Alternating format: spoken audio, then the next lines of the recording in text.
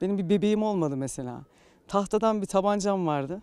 Aklım yetti yeteli o tabancayla oynadım. Çocukken. Çocukken polis olacağım, polis olacağım dedim ve bu sevdayı içime işledim. Komut gelecek. Sola doğru.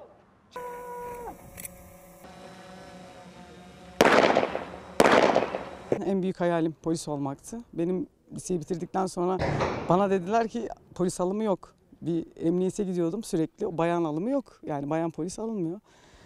2-3 sene beklediğimi hatırlıyorum. Sonra e, 99 yılında Allah nasip etti kazandım ve Trabzon Polis Okulu'ndan mezun oldum.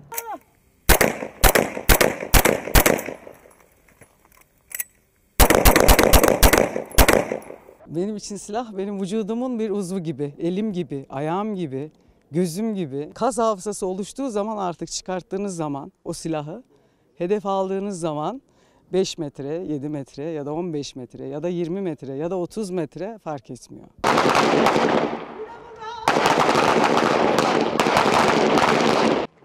Ben ilk buraya geldiğimde e, aynen sizin dediğiniz gibi e, geldik buraya.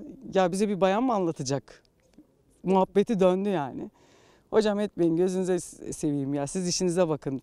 Masa başında oturun. Lafını çok duydum ben. Başla.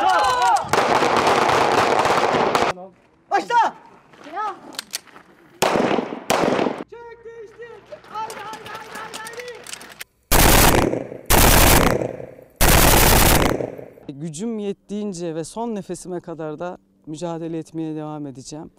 Bu teşkilat e, mükemmel bir teşkilat. Bana deseler ki yarın Afrin'desin, İbrit'tesin, koşa koşa giderim. Keşke öyle bir şey olsa. Yani Rabbim nasip etse de gitsem.